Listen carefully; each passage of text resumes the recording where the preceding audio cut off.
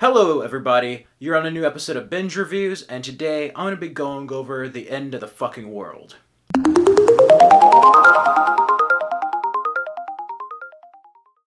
The End of the Effin' World is based on a graphic novel by Charles S. Forsman. The pilot was also a short film in 2014. Jessica Barden is Alyssa and is the only actor to reprise their role from the short film. You also have Alex Lawther as James. So yeah, it was based on a graphic novel and the pilot of this was originally the basis of a short film. Alyssa is the only character to be reprised, and it centers around the relationship of Alyssa and James. This is a very screwed up show, uh, but it's about eight episodes, and they're each approximately like 21 minutes to 30 minutes in each episode, so it's very short. It's under a half an hour for each episode, and it very much plays like a five hour movie. It really does feel that way. James in this is very much a psychopath. He wants to murder people, he murders animals for enjoyment, but he doesn't feel very much. He meets this woman named Alyssa. They're both are 17, they're both in high school, and she thinks she could fall in love with this guy. He wants to fall in love with her to basically kill her. The whole premise of the series is him going with her on these adventures to basically kill her. He wants this to be his first murder victim. It's very dark, and we really get to see narration from both the characters. It's done in a very great way, much like Heathers or like Mean Girls and just other dark stuff like that. It's very much a dark comedy.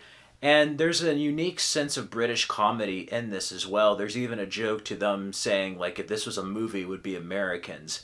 And I really love the chemistry between Alyssa and James. Alyssa is pretty much like a nymphomaniac. She does stuff to basically annoy people on purpose, and she always lives life on the edge. Even though internally she may not feel that way, she just does it without thinking. And uh, she lives with her mother and she has a stepfather. Her father left at a young age, so her mother is with this kind of jackass husband. They have twins. It's the perfect family, but there's really no place for her in this perfect family that her mother has. So she's in very much an abusive relationship. James, his mother died uh, when he was young, so we really don't get to know much about James' mother till later in the show, but he lives with his father. He has a single father, and he's just kind of like a jerk to him. He doesn't like his father. He doesn't feel much. And really, Alyssa and James are the perfect combination for each other. They're the perfect couple. They each kind of fulfill something that's missing in each other's lives. Upon a whim, Alyssa wants to leave. They don't like the town. James basically punches his father, steals his father's car, and they go on a road trip. And that's pretty much what the end of the effing world is about. I won't go into too many details here, but it's pretty much about Alyssa and James' misadventures throughout this series, throughout a course of a couple of days. And it is a really well done show. The cinematography is top notch, the soundtrack, the way everything's framed, the acting. And we have flashbacks, and unlike other shows, flashbacks are usually shown like with visual filters black and white, are just done differently. This one's done in a 4-3 standard full screen aspect ratio to make it look like it's the early 2000s. So it does fit the time. It does make it feel like you're watching either a video, a documentary, or just living through these people's memories. I really, really love this. This is a breath of fresh air. It's very different from any other Netflix show and even other graphic novels. You can definitely tell this was a graphic novel for adults.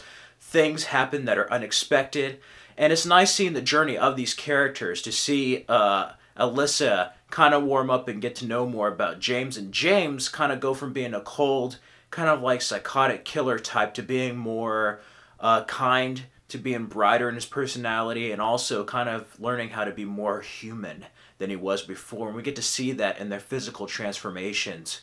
This was a great ride. It could go on for another season. I'm not sure. It really has a nice isolated ending. I wouldn't mind if it just ended here because it's going to be hard to see how this could go on after one season. But if you're in the mood for something different, uh, if you've seen the previews to this show, I would highly recommend it. I give the end of the effing world a 4 out of 5. It's not for the faint of heart. It does have some gory, screwed up moments, but it's one of those shows where it's just so screwed up that I kind of want to see how much more screwed up it can get, you know? It's just a messed up show. It really is a screwed up show. These two characters have such a screwed up home life. They're screwed up characters upon a screwed up adventure. And there's just something fantastic in that that's just really well done. And it's nice. You really have a great time being with Alyssa and James. It's really nice getting to know these characters upon their journeys and their chemistry with one another and how they may feel at a young age. It's a very different coming of age tale, and I give it a 4 out of 5. It is definitely worth a binge watch. Uh, and again, this is half an hour, so it's not like you're watching an hour show. It goes by pretty fast and is very easily bingeable if you're in the mood to watch it.